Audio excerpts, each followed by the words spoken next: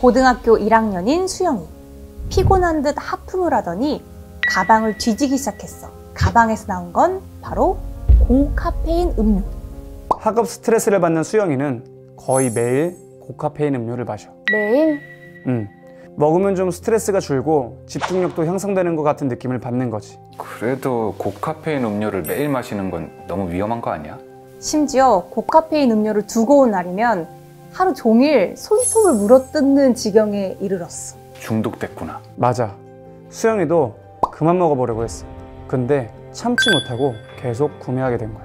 음, 이건 좀 많이 심각하다. 어디서나 쉽게 구할 수 있는 거라 더 문제잖아.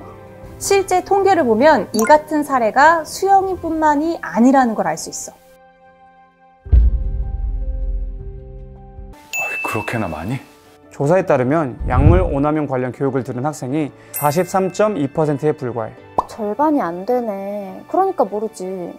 그래서 서울시의회 교육위원회에서 이 문제를 바로잡기 위해서 조례안을 마련했어. 바로 서울특별시 교육청 유해약물 오남용 예방교육조례 일부 개정 조례안이야. 전문가 초빙을 통해 유해약물 오남용 예방 교육을 적극적으로 할 수 있도록 하고 교내 동아리, 학생회 활동과 연계한 캠페인을 통해 유해약물 오남용 예방 교육의 활성화를 장려하도록 하는 조례야. 이제라도 학생들이 올바른 약물 사용에 대해 알 수 있을 것 같아 다행이다. 이뿐만이 아니라 서울시의회 교육위원회는 학생들의 안전과 교육 환경을 위한 다양한 노력을 하고 있어. 한번 그 열띤 현장으로 가볼까?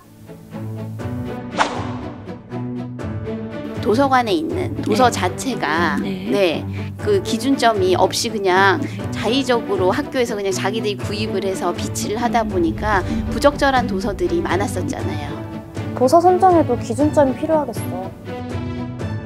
이제 청소년 마약 범죄는 다른 나라의 이야기가 아닌 것 같습니다. 19년도에는 200명에 불과했는데 작년 말 기준으로는 1000명이 넘어갑니다. 사- 청소년 마약 사범. 청소년 마약 문제에 대한 관심이 필요해.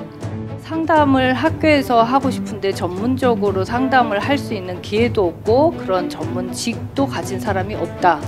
어? 이런 이야기가 좀 나온 사항이 있었어요. 교육위원회는 그 외에도 다양한 조례안을 만들었어. 어떤 게 있어?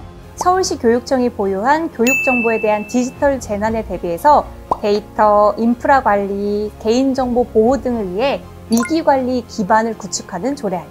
그리고 학교 학생들의 건강 증진을 도모하기 위한 조례안도 있어. 학생 건강 증진 사업에 전문 의료인을 활용하여 건강 증진 교육 및 상담, 자문 등의 지원 사업을 신설하는 조례안이야. 잘 됐다. 학생들의 건강이 제일 중요하지. 이렇게 서울시의회 교육위원회는 제323회 임시회에서 총 14건의 조례안을 심사했어.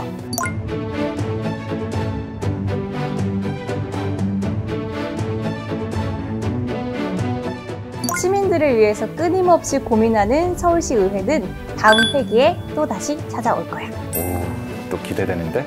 그럼 우리 다시 만날 때까지 안녕.